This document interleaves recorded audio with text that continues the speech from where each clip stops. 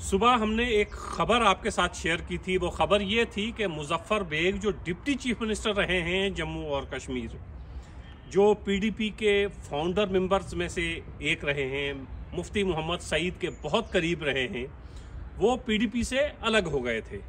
लेकिन सुबह आपसे हमने ये खबर शेयर की थी कि मैं, कि मुजफ्फर बेग और सफ़ीना बेग पीडीपी ज्वाइन करने वाली हैं। बिल आखिर महबूबा मुफ्ती की मौजूदगी में मुजफ्फर हुसैन बेग और सफ़ीना बेग ने वापसी की है, घर वापसी, यानी वो वापस आए हैं पीडीपी में और प्रेस से बात करते हुए मुजफ्फर बेग ने कहा कि पीडीपी के साथ और मुफ्ती सईद के साथ मेरा रिश्ता, बाप और बेटे का रिश्ता है। मैं कभी पीडीपी से अलग हुआ ही नहीं। तो पीडीपी जो एक वक्त में मुफ्ती साहब के जाने के बाद बहुत कमज़ोर दिखाई दे रही थी उस कमज़ोर दिखाई देने वाले आ, की वजह यह थी कि बेशतर उस वक्त के लेजिस्लेटिव मेंबर मिनिस्टर पार्टी को छोड़कर दूसरी पार्टी बना चुके थे या दूसरी किसी और पार्टी का दामन थाम चुके थे।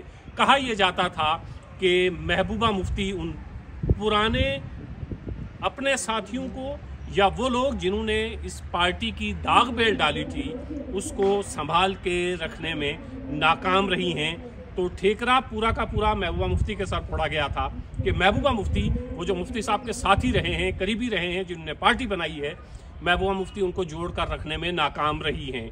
लेकिन पिछले चंद महीनों से ये खबरें भी आप तक पहुँचती रही हैं कि वही लोग जो पार्टी छोड़कर गए थे, अब वापस भी आना चाहते हैं, लेकिन महबूबा मुफ्ती किसके लिए अपना दरवाज़ा खोलती हैं, ये भी एक बड़ा सवाल था।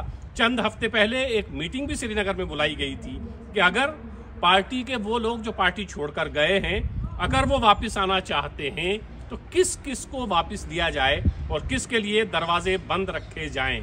तो तय ये हुआ था कि जो लोग पार्टी छोड़कर गए हैं, अगर वो वापस आना चाहते हैं तो उनका खैर मकदम किया जाए।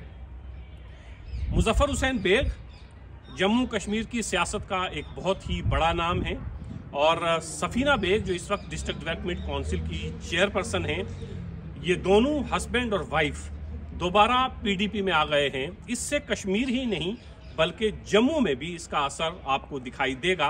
पीडीपी आहिस्ता आहिस्ता अपने आप को मज़बूत करने की कोशिश भी करेगी। इंतबात भी जल्द सवेर हो ही जाएँगे। पीडीपी को इंतबात से पहले अपने वो पुराने साथी जो उनको छोड़कर गए थे, वो अगर वापस आना चाहते हैं तो पीडीपी ने उनके लिए एक तरह से अपने दरवाजे खोल दिए हैं कि मुजफ्फर हुसैन बेग ने आज हज़ारों की तादाद में वहाँ पर लोग मौजूद थे और आज ही मुफ्ती मोहम्मद सईद की वफात का दिन भी है।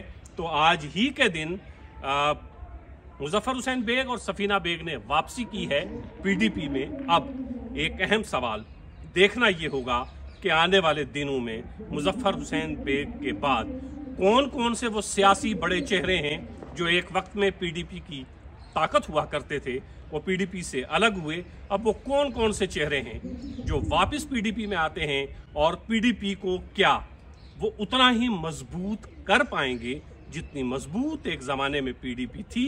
ये बहुत अहम सवाल है और इस सवाल का जवाब थोड़ा इंतज़ार करना पड़ेगा।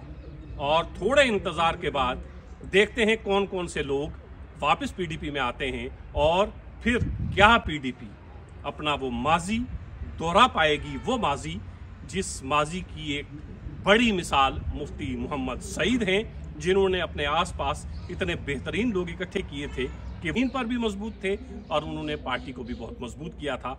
तो वो तमाम साथी, अगर महबूबा मुफ्ती की सरबराही में पीडीपी में आ जाते हैं या उनमें से चंद लोग भी आ जाते हैं तो यकीनन पीडीपी जम्मू और कश्मीर में एक मज़बूत और बड़ी ताकत बनकर ज़रूर उभरेगी।